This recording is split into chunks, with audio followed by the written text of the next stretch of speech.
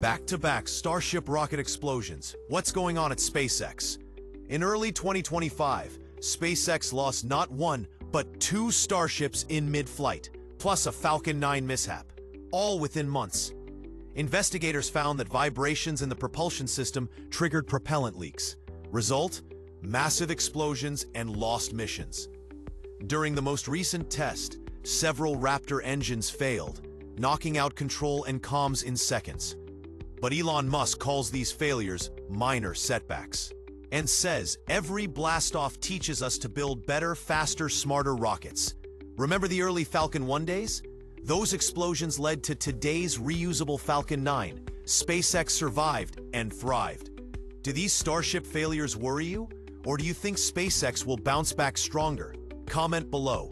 Next test flight is already scheduled.